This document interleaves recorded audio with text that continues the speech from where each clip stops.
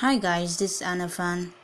In this tutorial, I will show you how to force stop any running downloads on your Android phone.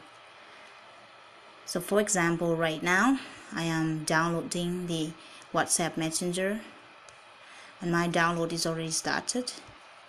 And you can see here, the download is ongoing.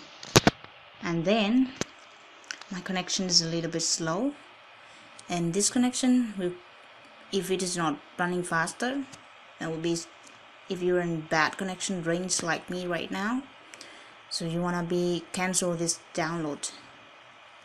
So here's what you want to do. You want to go back to your android home.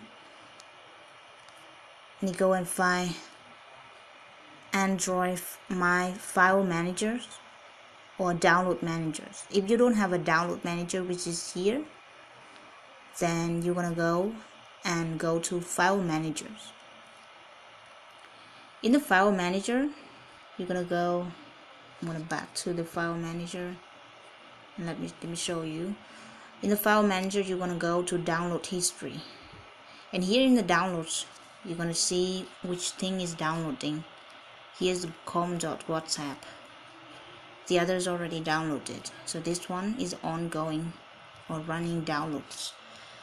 So I'm gonna force stop this by long press on that. Means select the file. And I'm gonna click on delete button here. So now you're gonna scroll down like this here. You have a no downloads anymore. Thanks so much for watching this video guys. I am Anh Phan.